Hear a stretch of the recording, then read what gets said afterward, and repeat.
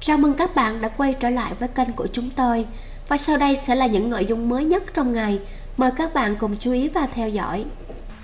Vợ cũ Hoài Lâm bị tố có quá khứ bất hảo Nói dối trắng trợn lộ bí mật động trời giấu kín nhiều năm. Trong những ngày gần đây, cư dân mạng xôn xao trước tin đồn Đạt G và vợ cũ Hoài Lâm đang có mối quan hệ yêu đương.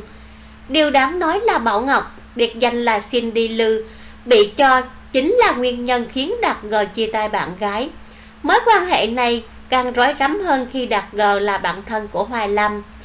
Sự việc vẫn chưa dừng lại khi vợ của Hoài Lâm bị cư dân mạng tố có quá khứ bất hảo, thậm chí còn nói dối về việc quen Hoài Lâm suốt 9 năm. Cụ thể Bảo Ngọc bị một bài đăng vạch trần vì quá khứ từng bỏ học sớm, bị gia đình từ mặt. Đáng nói bài đăng còn tiết lộ Cô chỉ quen Hoài Lâm được 2 đến 3 năm thì chia tay vì gia đình phản đối, vì thời gian này nam ca sĩ chưa nổi tiếng. Sau đó cô hẹn hò một nam địa chi khá dạ.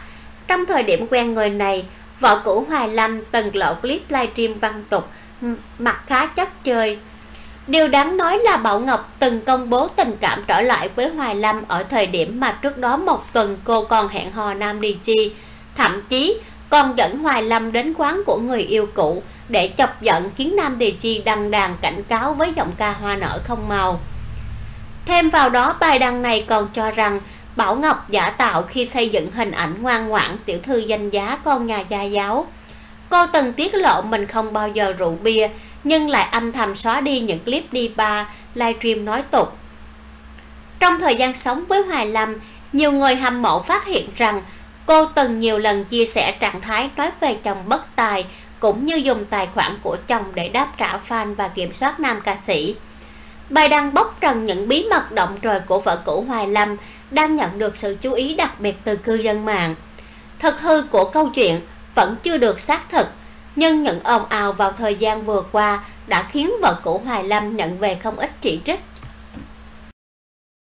Bản tin của chúng tôi đến đây đã kết thúc. Cảm ơn các bạn đã quan tâm và theo dõi. Hẹn gặp lại các bạn ở những bản tin tiếp theo.